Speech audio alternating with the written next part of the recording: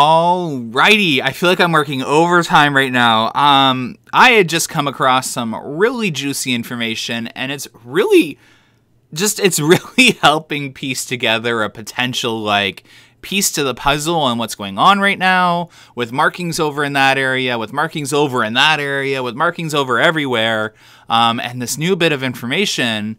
Um, there could potentially be a story to tell here. And again, I want to start off that in this video, this is going to be a significant reach, okay? We don't know anything for sure, especially when it comes to just the Sky Roller um, Skyhawk at Canada's Wonderland. This new bit of information's a little bit harder to digest and figure out what's going on with this project, um, but I'm going to piece together what could potentially go on, and I'm really curious to hear from you guys down in the comment section what you think about what's going on and the information that I've been presenting over the last couple days. Okay, so I'm going to start off and read this permit. This is public information, by the way. This isn't stolen from anywhere or gotten from anyone at Wonderland. This is public information. Um, so Wonderland has filed a permit to build a recreational facility, commercial, at Canada's Wonderland. Um, and it is to construct a new operator booth and electrical room for Skyroller. Um, Skyroller is essentially the model that Skyhawk is. So my assumption is, well, this could be one of two things. This could either be a new flat ride coming to Canada's Wonderland, um, and they're just using codename Skyroller to confuse enthusiasts um, with their permits. There is a potential for that because theme park companies do not like having information um, fully leaked on blueprint or uh, in permits and that, and sometimes they'll disguise things. So it could be that there could be a new flat ride, and they're just using codename Skyroller, and this is just them applying for the permits to build an op booth and all that. And it does say type of work new, so that is interesting. The other situation is it could be a relocation of Skyhawk. So, based off of what we figured out, that a Harmony Hall, probably Canadian themed, is coming to Firework Hill in the Blue Square, I'm assuming that Frontier Canada is going to start to expand outward a bit. Because um, I'm assuming that the Harmony Hall will probably be a very heavy Canadian themed building, and um, they might move Skyhawk over to Orbiter's old plot of land, the red dot on the bottom right.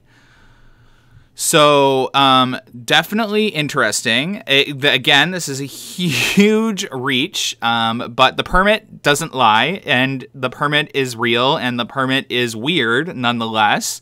Uh, I can't see why they would just build a new op booth and electrical room for Skyhawk unless making room for something. So, again, there could be a couple of scenarios in play, but I just wanted to present a story here in case. Um, it does end up being that. So the green circle enclosing International Showplace and um, Skyhawk could be future developed land for maybe a family coaster. That's my guess. The orange encircled area over by Whitewater would be phase two of Frontier Canada with buildings and maybe a flat ride um, and some theming, maybe even a storytelling adventure like you see at Knott's Berry Farm and Cedar Point fitted into that area. And maybe even on the infield of Whitewater Canyon, having that almost like Ghost Town Alive or the Cedar Point uh, adventure with storytelling and actors and all that. That's something I could see coming to Canada's Wonderland as we see it at the two other bigger parks. And then this uh, yellow circle would be our dark ride, our future dark ride. So now that you see it on the map, and this permit and just everything. I want to know what you guys think in the comment section. Do you think I'm onto something? Do you think I'm totally reaching right now? Don't worry, feel free to be honest. Um, a couple things I do know for almost certainty based off of the markings and all that. I do know the blue square is most certainly going to be most likely a Harmony Hall. Um, we do know something's going to happen with Skyhawk's electrical booth and op booth. So whether that means a relocation or they need to relocate those two things because of something to do with Harmony Hall, maybe, or are they moving Skyhawk out of the new Frontier Canada, putting it in Old Orbiter's location in Action Zone, and um, having that green circle for future developed land? Maybe a roller coaster or Gerstlauer would fit nice in that plot of land. And the orange is simply just going to be theming as a phase two for Frontier Canada. And we do know a lot of people attending an ACE event or at Yukon Striker Media Day know that something's going to happen to Action Theater very shortly. So I'm assuming 2022. Taking a breath of air. I didn't breathe through that whole sentence, but yeah, nonetheless, it's it's really becoming interesting. The more information that becomes available, the more markings that appear, just seeing what's going on. Um, it's it's really becoming interesting. It seems like Canada's Wonderland's about to go under a very large expansion project over the next five years. So, and it's almost like we can see it laid out before us with the markings and the survey markings and the permits and the everything. So it, it, it, looks like this park could have a very bright future, and I'm liking what I'm seeing with this Frontier Canada focus in the back portion of the park. So I'm super excited. Um, I hope Skyhawk does go where Orbiter is, Orbiter is because that actually makes sense. It moves it into Action Zone, um, just outside the entrance of Frontier Canada. Frontier Canada expands a little more to include Harmony Hall and then maybe future developed land with that international show place maybe leaving and then them using Kingswood for future shows, uh, just a bigger venue, and them finally using that space. Um, and yeah, just super exciting. Wanted to share this with you guys. I know I just uploaded a video about 2022 construction and all that, but we just got this information about three hours after that video dropped.